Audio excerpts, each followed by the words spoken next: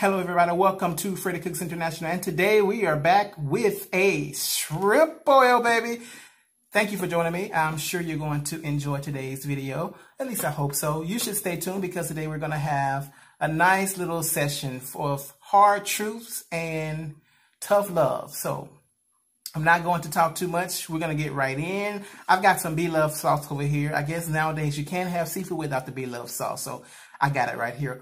So let me tell you what I've got. Got some corn, got some potato, got some egg, got a little broccoli, got some shrimp, got some, did I say sausage? Okay, great. Where should I start? What should I, ooh, where, what to do first? Okay, corn maybe. Let's see. Hmm. Hmm. Okay, actually, I'm gonna be a little bougie here because that's hot.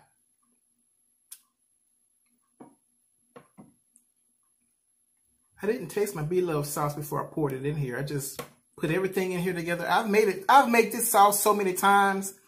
I don't even feel like I have to taste it.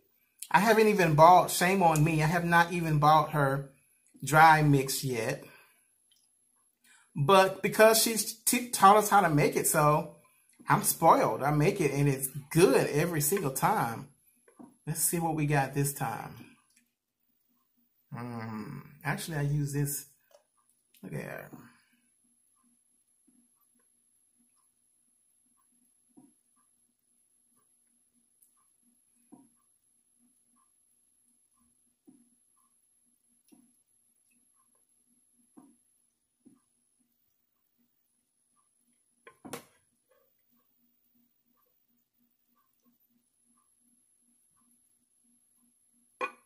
Okay.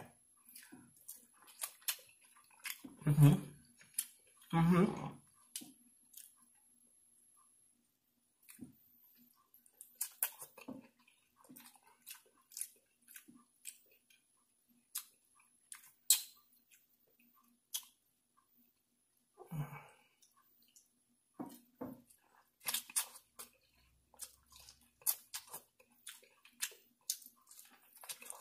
Mm-hmm.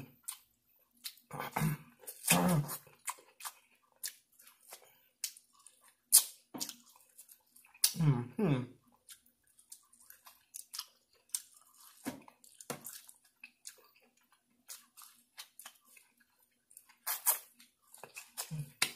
Hmm. This stuff make you eat your hand off.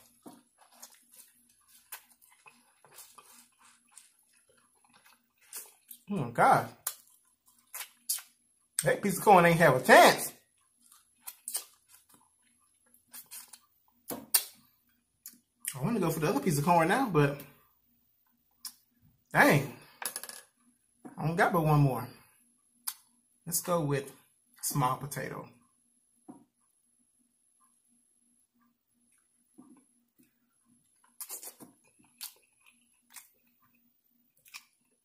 Mm-hmm.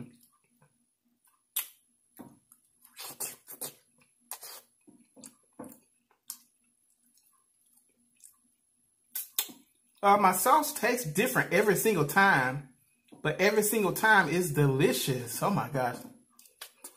Mm.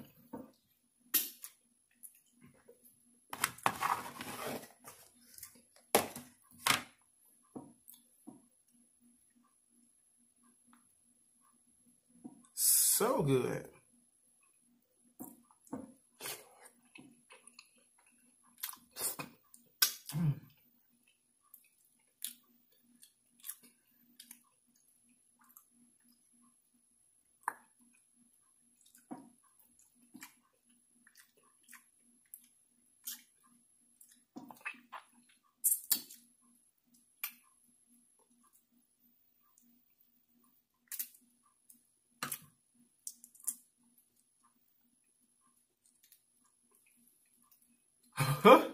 Okay, the food has got me quiet already. I don't want to be quiet in this video. I want to talk to you. Actually, we are going to talk. We're going to have some good conversation here.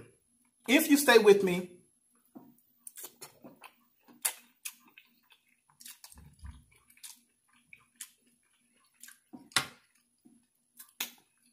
I want to eat a little bit first So we're going to finish our, not finish, we're going to continue our session from the last time, one of the last times, about temporary versus versus eternal things. The temporal versus eternal.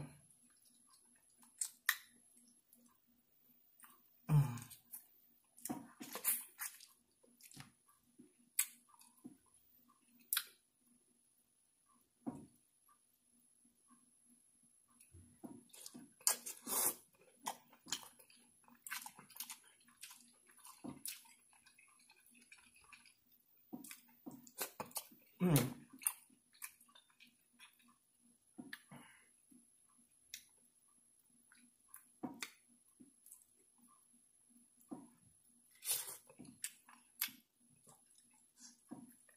Gosh.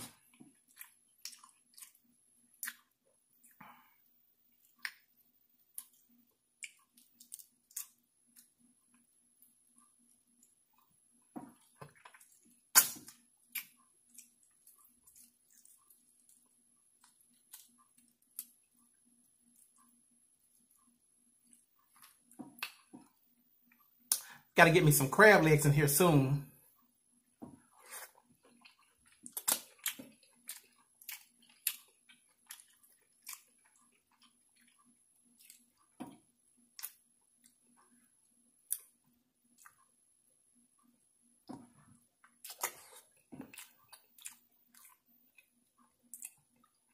This is crazy. How good this is. Hmm.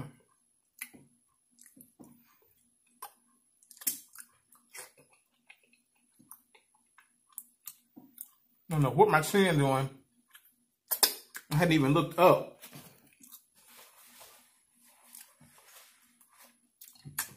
Nothing new here. Got my same blackberry lemonade.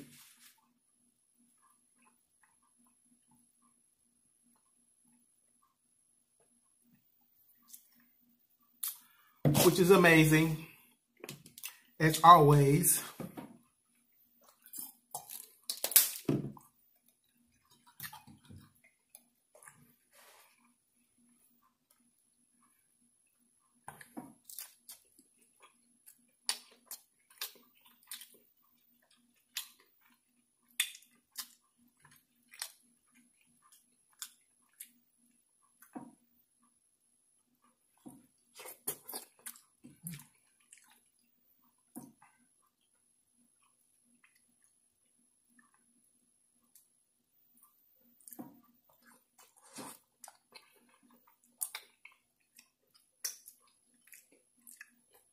Hmm.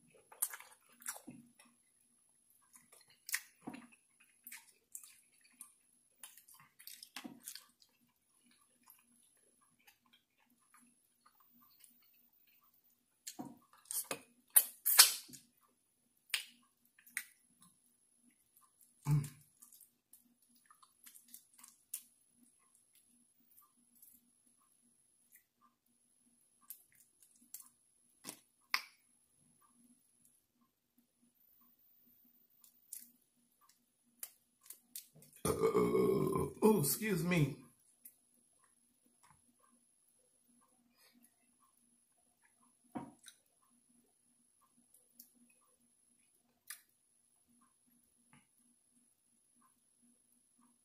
This is crazy. Crazy good.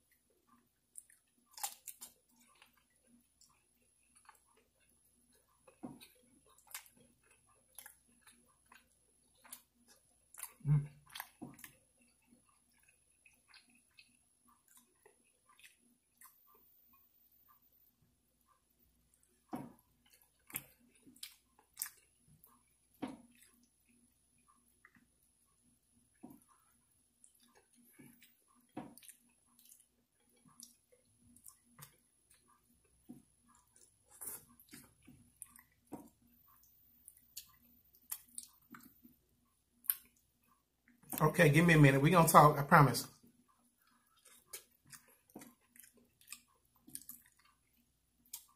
Give me a minute. Mm.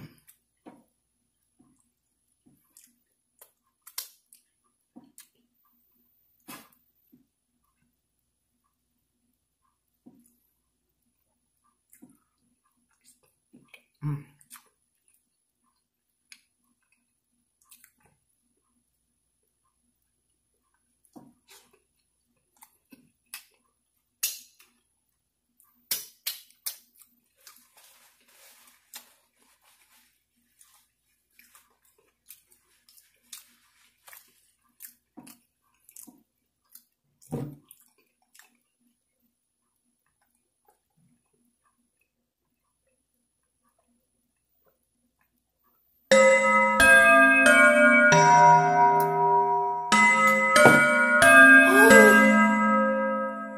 Oh my gosh.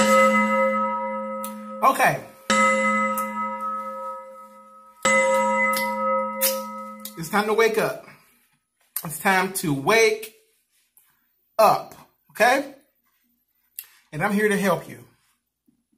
Last time we just we talked about things eternal versus things that are temporary. And we use examples of physical things that you can see in this world, which are which are temporary things, everything that you can see in this entire world that's has a physical that that's mass that takes up space is temporary because it can be destroyed.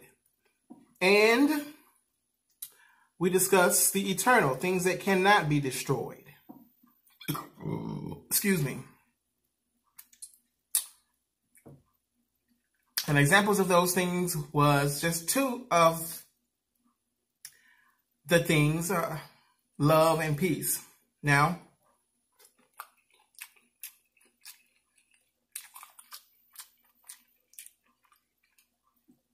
somebody out there may be tempted to say that love can be destroyed and peace can be destroyed. I want us to take a deeper look at those two. While there are some other things that are eternal that cannot be destroyed, we'll talk about that later on in life. But for today, we're just going to go with the two that I've already introduced. Love and peace.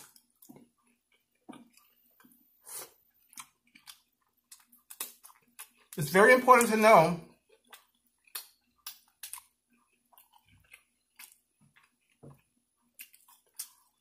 These two items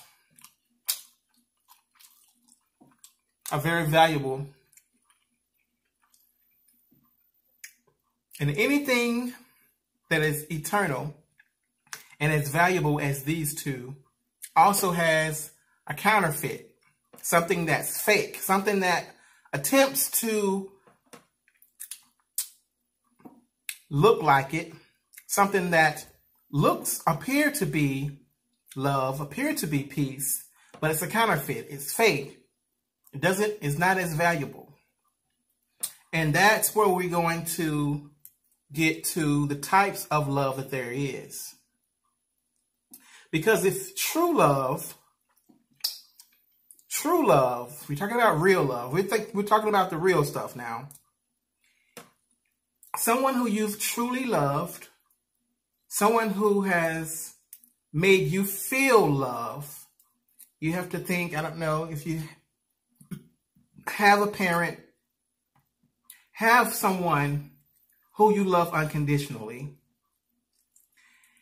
Once, if when that person dies, you never will forget how they made you feel. If the love was real, if it was true, if it was unconditional.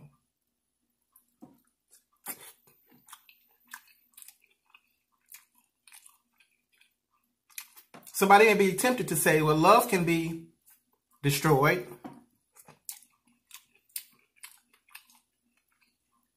And that's when we have to stop and contemplate. Is it real love that can be destroyed? or was what you once thought was love really wasn't love at all. Now, if we look at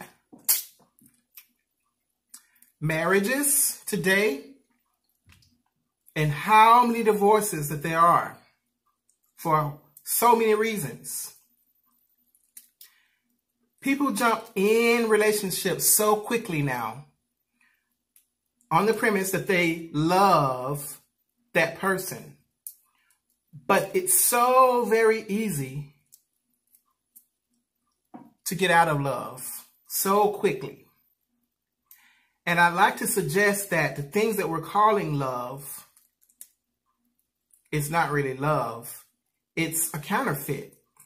And so it blinds us to the truth. The counterfeits are blinding. It's deceiving. And so it could be lust. You really like them for their body. I'm just saying. It happens. Or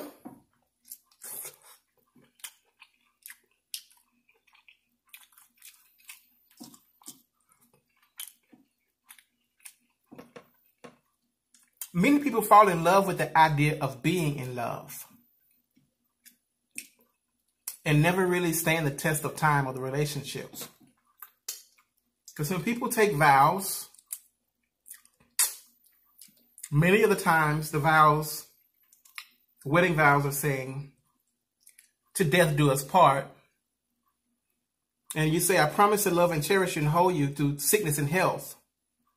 And some people it don't even take that much for them to be looking for somebody else. Now I know all types of things happen in relationships that make the relationships go sour.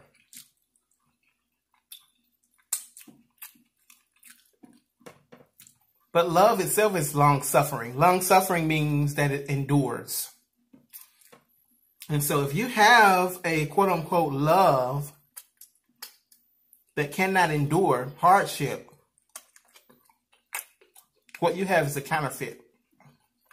If your love is dependent on anything in return,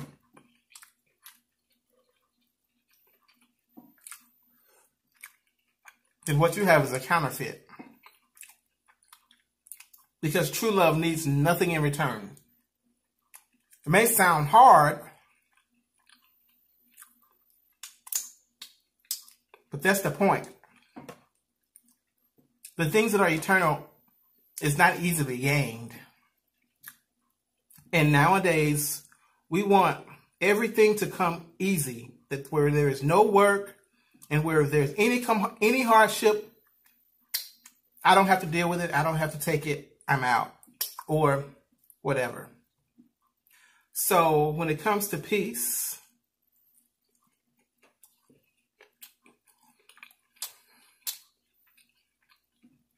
I suggested before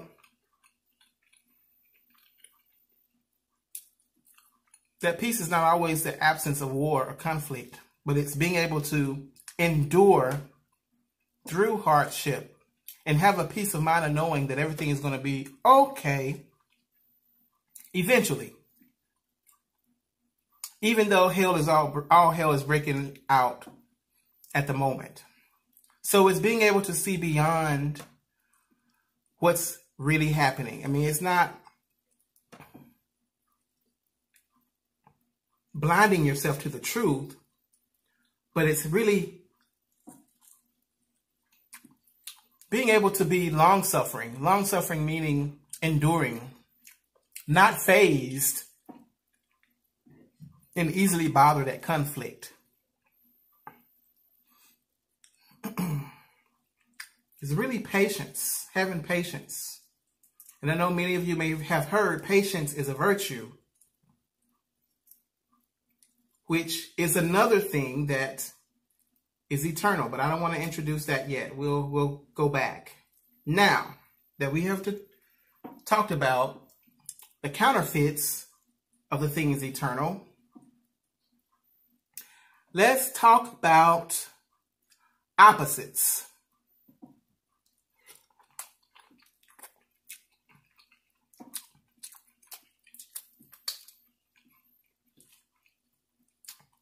Mm. But actually, before we talk about opposites, opposites, let's talk about the different types of love because there is actually more than one type of love. Many people say love is love, but you have a brotherly love, brotherly love, which is love for your neighbors. Neighbors meaning your the person next to you, the people that you walk by every day, your physical neighbors that live next to you, your your brothers and sisters, which really is just everybody. And it may be hard for a lot of us to love people that we just met. And so that takes a different type of love. That's brotherly love, loving your neighbor as yourself so that you treat people the way you would like to be treated. That's brotherly love, right? That keeps us from hurting people or wanting to hurt people. That keeps us self-aware so that when we do say something or do something to hurt somebody else, we can easily apologize because that wasn't our intent. However, our, when our love is tested, when people do things to us that make us mad, a lot of times we want to retaliate and and return to them the hurt that they have returned to us. Now, it takes a different level of love to not retaliate. That's a level that you, we have to seek. Many people don't want to even get to that level.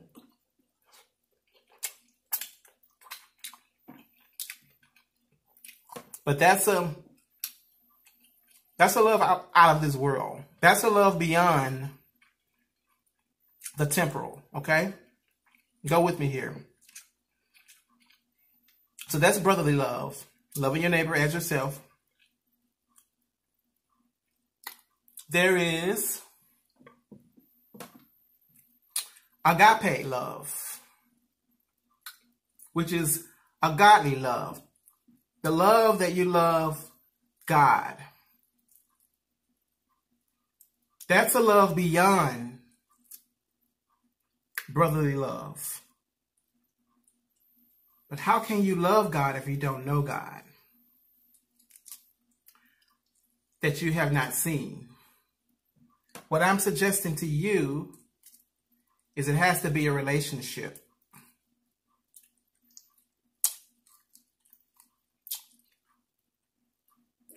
Uh, how can you have a relationship with someone that you don't know? Do you hear what I'm saying? Let me ask you that again. How do you truly have a relationship with someone that you do not know? Now let's take it back a step back a little bit. There are many people who engage in relationships, who desire to be in relationships with us, with someone, desire to marry someone, but they haven't even spent enough time to date that person, to get to know that person, to know who they're truly, who they truly are. Many of you know, and I know many of you can relate, People are always them their best selves at the beginning of your relationships. When you first meet somebody that you really like, you try to put on your best face. It's like putting on makeup. Mm. Even that's an example. Hmm.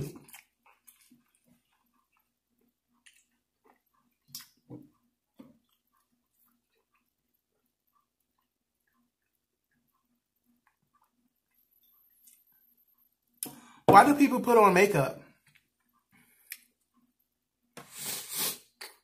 Some people may suggest to enhance the beauty that they already have.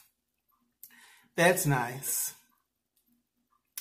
Some people may suggest, people who are realists, to hide the flaws. But depending on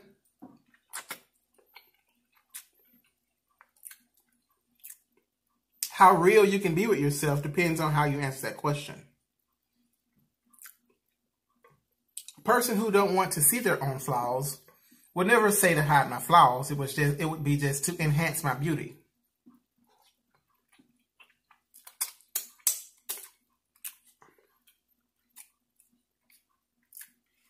But I know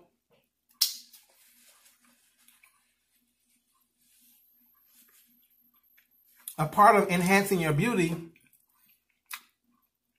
is using concealer to cover up wrinkles, using concealer or makeup or foundation or whatever to cover up discoloration, even acne. So I suggest that people fall in relationships with a person who has makeup on, basically. So they never really see the true person until it's too late sometimes. And so basically you've gotten into a relationship with this person. Relationship now should be give and take in communication, being able to be real with that person, being able to be honest with that person, being able to share the truth but you fall in love with somebody that you haven't even seen their real face. And people take that lightly, but we wonder why certain things don't work out. But we try to go into relationships without really knowing that other person, without dating that person, without spending time with that person to get to know who they really are. And so you can't truly fall in love with somebody that you don't know. I mean, fall in love with someone. Now, we're talking about not sister and brother love. This is beyond sister and brother love. This is a love for your spouse, a love for, yeah, someone you're going to spend the rest of your life with. All right. So it's, it's a little perverted to love your sister and brother with that type of love. Some people are into that, but most people have a conscience to know that you don't date your relatives. That can be controversial, but we're not going to get into that right now. I'm just saying, when it comes to a relationship, when it comes to love, we have to spend time. So people, I'm suggesting here, people don't know God because we don't spend time to get to know, to get to search, to get to see who is he or is he really? But if we dismiss that, we will never get to find that relationship. Okay? Um, so I'm suggesting to you today, because actually this is 30 minutes now, and I'm running out of space. When it comes to spending, when it comes to finding relationships, when it comes to building relationships with just with the person that you're meeting every day. We're so busy with our own lives and our own agendas that we don't take enough time with the people that we see every day, even on our jobs, we spend so much time on our cell phones, distracted. And so we never really get, we're, we're at a point now in these days where we never really get to relationship. Everything is on a text, everything is on the computer. Nothing's really personal anymore. We need to start spending some time. because love is something that has to grow. Just like a plant. When you plant it in the ground, you water it, give it sunlight, it needs nurturing. It has to start as a seed, of course, and it has to grow. You can't rush it. There's, I mean, you, I mean, nowadays you can, I guess there's Miracle-Gro, but there's only so much growing that you can force a plant to do. And there's no rushing it. So what I'm saying is the things that are most valuable to us, especially the, the things that are eternal, that are very valuable, takes time. It takes nurturing and it takes some endurance to work through, some patience. And so everything is not overnight. Love doesn't happen overnight, even though we want to marry. I mean, you, if you're in high school, you think you're going to marry your high school sweetheart, but truth, chances are, even statistics, how many people really marry their high school sweethearts? It happens. But when you're in high school, you think that's the love of your life. I'm just saying, take some time to spend some time to get to know people. It's going to cost you a lot less headaches in the end, and it's going to be more valuable to you in the end. If you take some time to get to know people, take some time to even get to know yourself. Well, my friends, that is it for today. Um, I don't want to feel like I'm coming off preaching. I just want to share some things that surprisingly many people don't really take time to think about. That everything that's worth having is actually worth spending some time to gain. Okay? That's it for now. Um, I really was intending to eat all of this before I started talking. That's why I wanted to start eating more before I start talking because now I've talked the video through and I haven't eaten my food, but it was delicious. And I'm actually happy because I get to have some leftovers. All right, I hope you enjoyed this session today. There will be more. If you loved it, give me a comment up. If you didn't, okay, it's okay. Uh, I'm going to talk and I'm going to share this anyway because I can and because I want to. So, uh, thank you to everybody who still here. I love you for watching Freddy Cooks International Soul Food, more than food for your soul.